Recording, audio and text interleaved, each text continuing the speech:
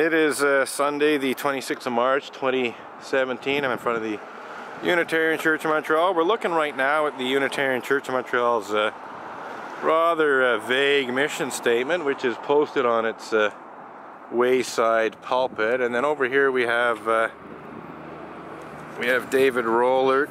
Do you have their permission to be filming or? or I don't need it, and I don't need yours either. Yes, this is do, no, I don't. It's actually illegal. It's Oh, really? violation of their own privacy. Oh, really? So, eh, pardon me. You should go spread your hateful shit somewhere else. My ha- what's, what's my hateful shit? Saying that all of this is blasphemy and No, no, I'm not. I'm not. That's not what I'm saying. No, you, you, they're accusing me of blasphemy. I'm protesting against Unitarians accusing me. So they're the ones that are spreading hateful shit. May I know what they accuse you of? I told you, blasphemy. In what sort? They accuse me of the criminal act of blasphemous libel, which is in the Canadian Criminal Code, because I blogged about Unitarian Universalist pedophiles and rapists. And what proof do you have about that?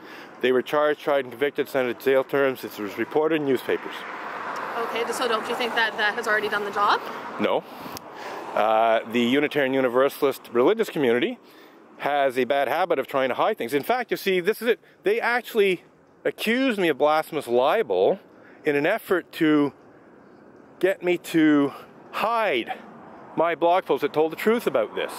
So they actually accused me of blasphemy in an effort to conceal the fact that Unitarian Universalists being charged, tried, and convicted of pedophilia and rape. I'd say that's some hateful shit, wouldn't you? Admittedly, yes. Thank you. No, you still don't have their permission to photograph. Actually, I do. them. This is documentary video. This is in the public interest. Uh, this, this I can post to YouTube. You are still supposed to have. No, no, no, no, no, not not for newsworthy documentary video. It's not necessary. You think you need uh, the permission of mafia dons who are going into court and out of court? You know I don't particularly know who that is. I'm sorry. what? I don't particularly. Know You don't know what a mafia don is? No. A Oh, God, wait. Godfather. Oh. Yeah. So Yeah, yes, yeah, what I'm yeah. getting at is, do you need permission of, you know, people are going in and out of court to take their video and post it uh, on on mainstream news? No, you don't. Yes. No, you don't.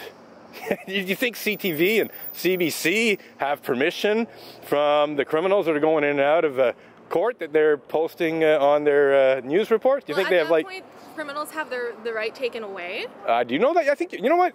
I hate to say so, but I think you're very poorly informed about rights. I suggest that what you do, you know, you, you believe, you obviously believe what you're saying about permission, blah blah blah. But you know what? I don't think you're properly informed. I'm a photographer. I'm a former professional photographer. I know a lot about copyright and privacy rights and so on. I know what I'm talking about here. You know, I'm filming this right now, as you can probably tell. Yeah. Uh, I have every right to put this on YouTube as educating public. I I know you would, but unfortunately, I know what your rights are, and I know what my rights are, and I think this is actually educational. I think that talking with you about all of these issues and your responses to them, this is in the public interest. It's in the public interest to know what I just told you. So, I they- do agree with that. I Right. will do my reading, but Right. I have to go to work. So. no, you go to work, and uh, so you're not a member of the church. No, no. Right. I, I used to live in the area. Right, right. Okay. But yeah, do, do some research. The Unitarian Universalists have a principle called a free and responsible search for truth and meaning. It's the fourth principle. And yeah, do that. I'll do some reading later. Thank you. Have a good day. You too.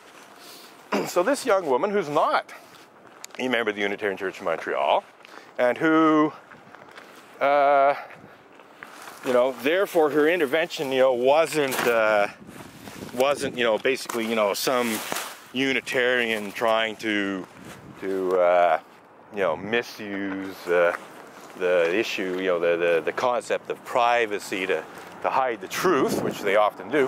Uh, this was basically just a misinformed uh, member of the public who, you know, believes in her head that, that uh, you know, I don't have the right to do what I'm doing in terms of filming my own protest. Um, she, you know, uh, and I have to, I'll give her credit, you know, uh, you know, I turned the camera towards her because, you know, when someone says you can't do that, and I know that I basically can, I usually just keep doing it.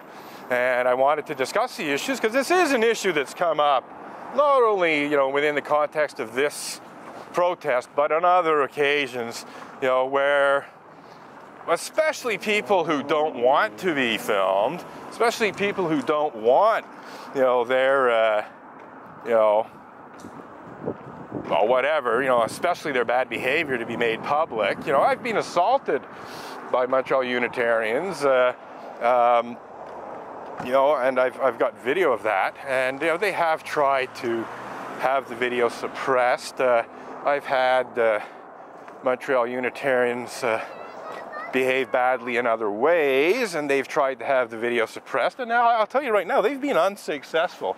You know, the, the videos were were posted to YouTube, and these people filed complaints with YouTube to uh, try and get the videos removed. And when I received the complaint from YouTube, I said, well, you know, these are documentary videos that can potentially be used in news reports and so on. Uh, they're in the public interest.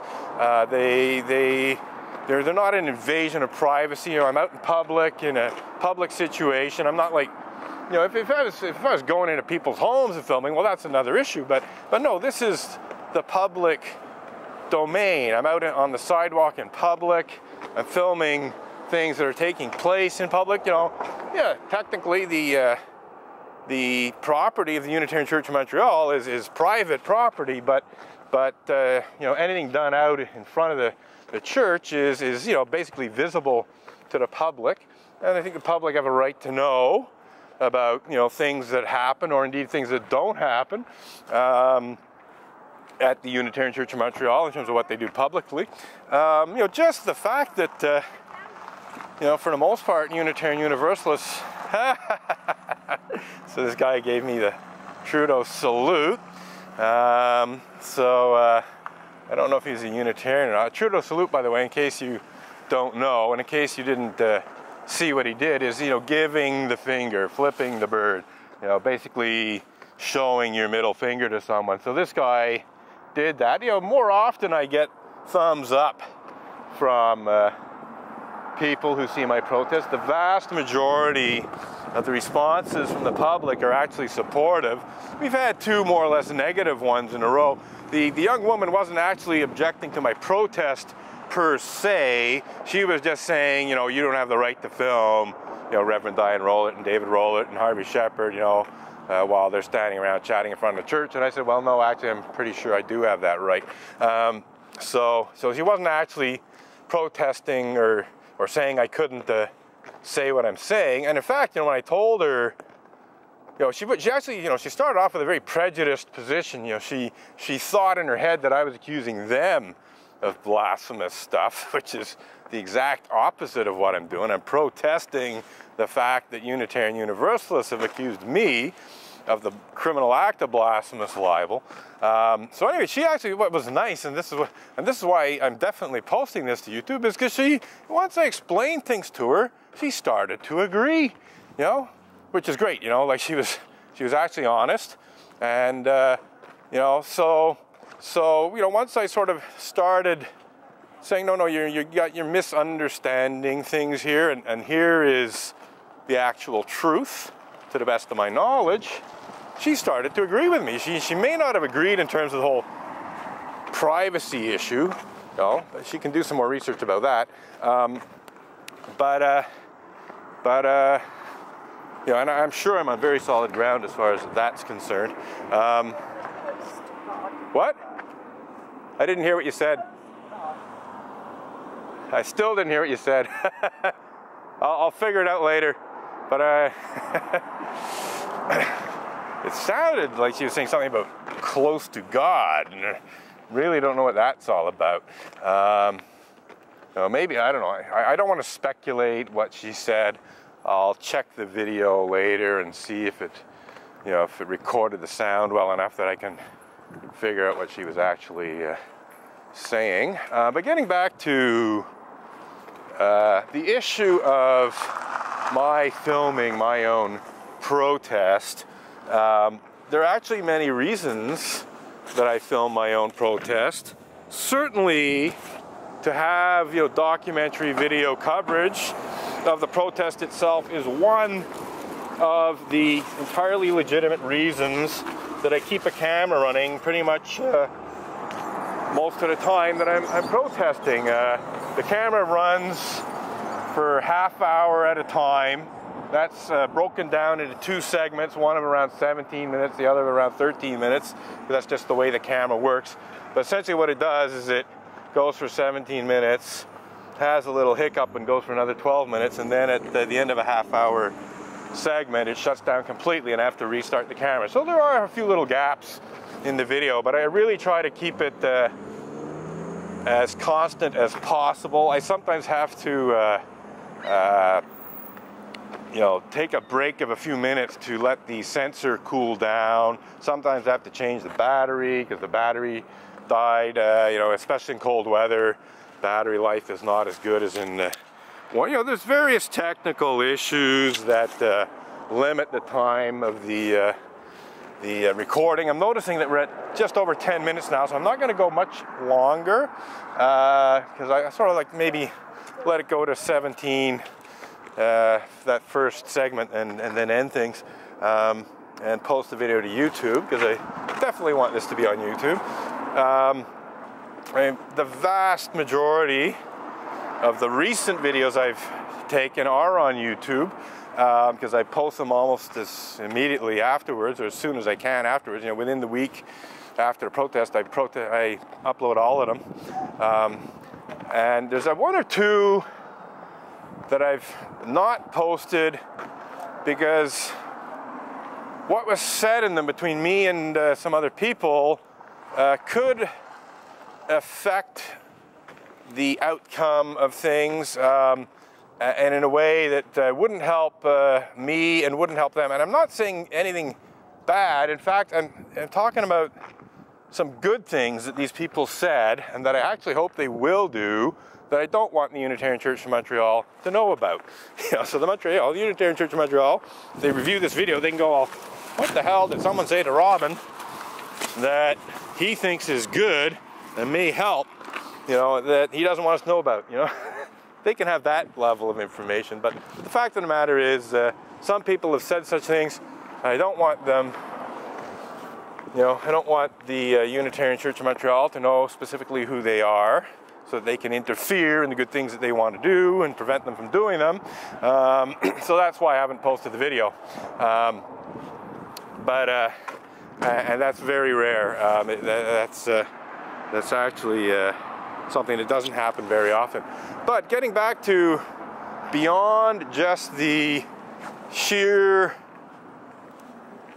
documenting of what happens here, just for the sheer purpose of making that information available to the public, uh, there is other reasons to run, or there are, I should say, other reasons to keep the camera running. One of them is that on occasion, Montreal Unitarian Universalists assault me or steal my picket signs or otherwise uh, commit crimes, as it were, um, or at least behave badly enough that it would warrant uh, um, possibly making a call to the police. Unlike Unitarians, you know, I, I, really try to keep calls to the police at an absolute minimum. You know, there's only been a few occasions where I've called the police to complain about a theft or uh, an assault. In other words, there's been various assaults, you know, where I haven't actually caused, called the police. There's been thefts where I haven't called the police because they were, you know, like one picket sign. Okay, well, I'm not going to like, you know, waste the cops' time because somebody stole one of my picket signs. Well, except for the case of uh, Kenneth Howard QC, who was a Queen's Counsel lawyer. Um, he stole two of my picket signs, which isn't a whole lot, um, but he's a Queen's Counsel lawyer. He should know better than that. Um, and he also technically assaulted me during his theft.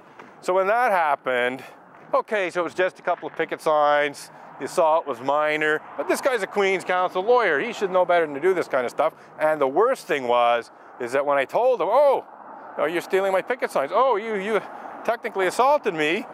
He was like, his attitude was, well, I'm above the law because I'm a Queen's Counsel lawyer. You know, like nothing's going to happen to me because I'm a Queen's Counsel lawyer. I can do whatever the fuck I want because I'm a Queen's Counsel lawyer. I said, oh, really?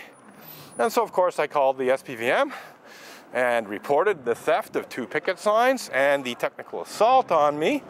Um, and to make a long story short, because it was a bit more detail to it, uh, the uh, Queen's Counsel lawyer in question, Kenneth Howard QC, was eventually subjected to what's called non uh, non-judicial treatment of his crimes. They, they were recognized as being crimes. He essentially copped a plea. Oh, hi, Curtis. He's still totally complicit in uh, Unitarian Universalist misuse of blasphemy law to cover and hide such despicable crimes, pedophilia, rape.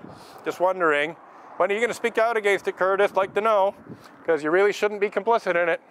That's Curtis Murphy, prospective Unitarian Universalist minister, who, like everyone else in the Unitarian Church of Montreal, is totally complicit in the Unitarian Universalist Association's false blasphemous libel accusation against me. He's also complicit in everything else I'm protesting against because I haven't seen Curtis Murphy speak out against it. I haven't seen Curtis Murphy try to do anything to ensure that uh, you know, Unitarian Universalists actually get around to practicing justice, equity, and compassion in human relations in this matter. Haven't seen Curtis Murphy, you know, ensuring uh, that uh, a free and responsible search for the truth and meaning of my uh, protest is actually engaged in by himself and uh, other Unitarians. Um, so anyway, getting back to my video here, and see, we'll probably keep it going. Uh, we'll, we'll, we'll, absorb the 17 minute hiccup and uh, keep going for a bit um, because I still have a few more things to say and it's not going to happen within the uh, 17 minute limit. Um, so, uh, that's another reason to keep the camera running is to record assaults on me, thefts of my picket signs, you know, criminal acts and so on committed against me by Unitarian Universalists. I want a record of that regardless of whether or not I choose to report it to the police. Uh, but, you know, if, if I do decide to report a theft or an assault against me, it's really handy to have some, some video proof. You know, it makes it a lot easier to obtain a conviction, etc.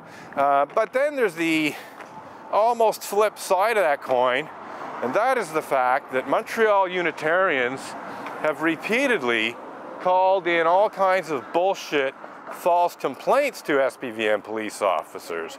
They've basically falsely accused me of assaulting people when I've not so much as touched someone, let alone assaulted anyone. Um, they, uh, they have made various accusations against me in efforts